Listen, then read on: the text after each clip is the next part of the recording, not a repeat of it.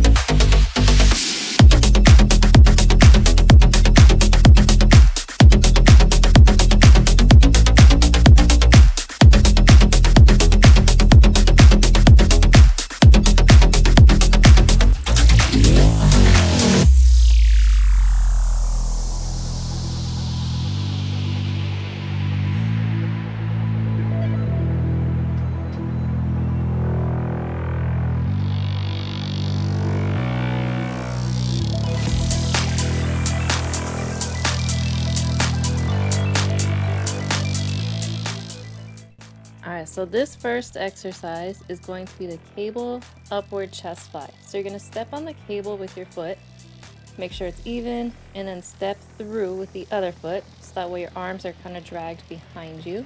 You're going to bring your arms up from beside your hips, up into the front of your shoulders, keeping your arms at a slight angle and flexing your chest muscles with every flex going upwards.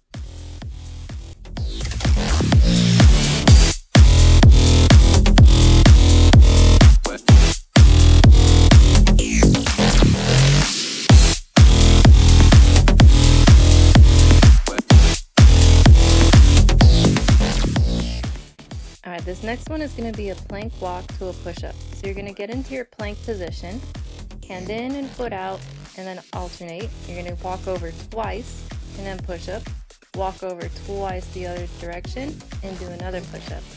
I am counting 10 push-ups for this round.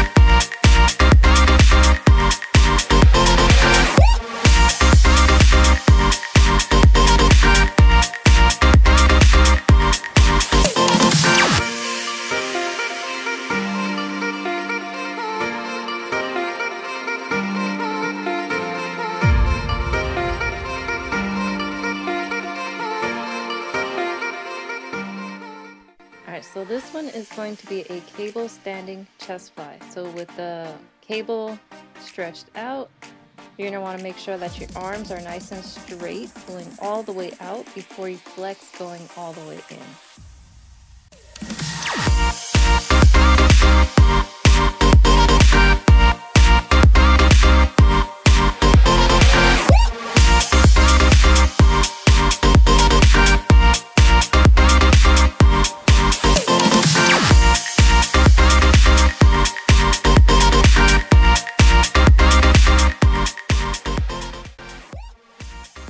So this one is going to be the plank to alternating tricep kickback.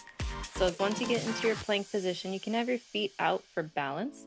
You're gonna pull up and do a tricep kickback, keeping your elbow nice and up and making sure that the stable elbow does not lock out on you.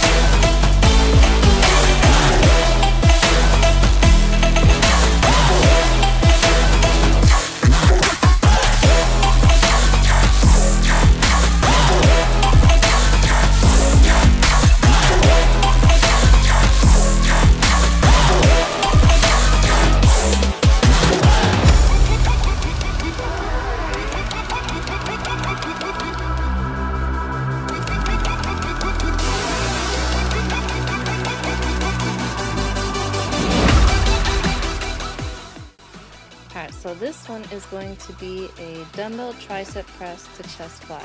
So starting with the dumbbells above you, you're to let your arms go down towards hugging your side, back up into the air into the chest fly.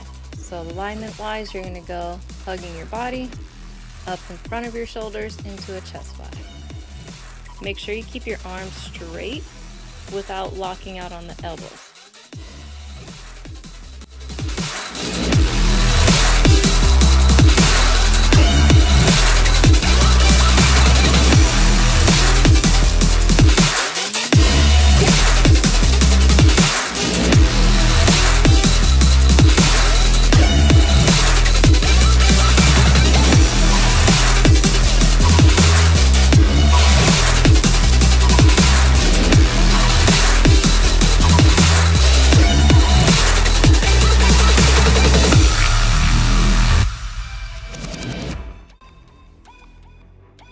Alright, so this next one is what I like to call elbow up down into knee push up. You might have heard these as push up to plank, but I like to call them elbow up downs.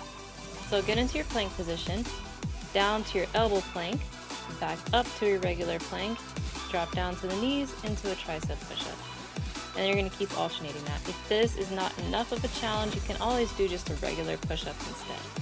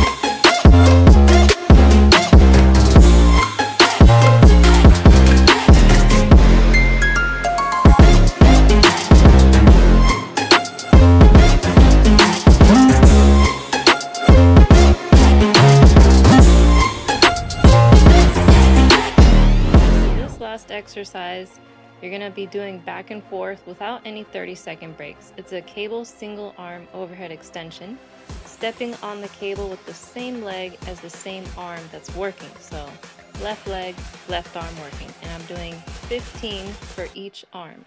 And then you're just gonna alternate back and forth.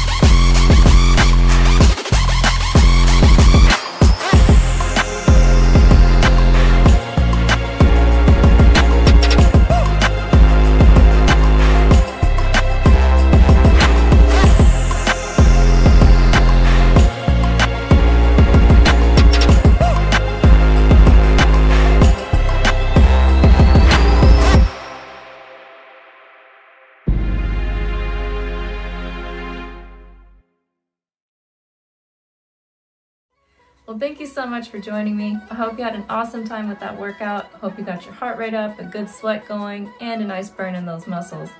Um, feel free to leave in the comments below what your favorite exercise was and which one you would like to improve on. If you have any fitness or nutrition questions, feel free to reach out. You can leave them down there in the box below in the comments, or you can reach out to me directly through any of my social medias. There will be links down in the box below as well in the description. So for today's Bible verse, it's from the book of 1 Corinthians chapter 9, verses 26 to 27. And it says, So I run with purpose in every step. I am not just shadowboxing. I discipline my body like an athlete training to do what it should. Otherwise, I fear that preaching to others, I myself might be disqualified. What that speaks to me personally is all about discipline and being a good example. So by discipline, to me it means I need to train my body with purpose and focus on the why. Why I want to reach my goals, why I want to do this. So that way I train with purpose. And as for the example, if you are trying to be an example for your loved ones and those around you, they're gonna see your effort and they're gonna see your progress. And not only for them, but for you personally, you are gonna see all the things you have come through along your journey, and you will find that you are not going to disqualify yourself and others won't disqualify you based on your example. But you are doing your best and you're running your race with your goals and your purpose. Well, until next time, I hope you have an awesome and wonderfully blessed week, and I hope to see you in the next one.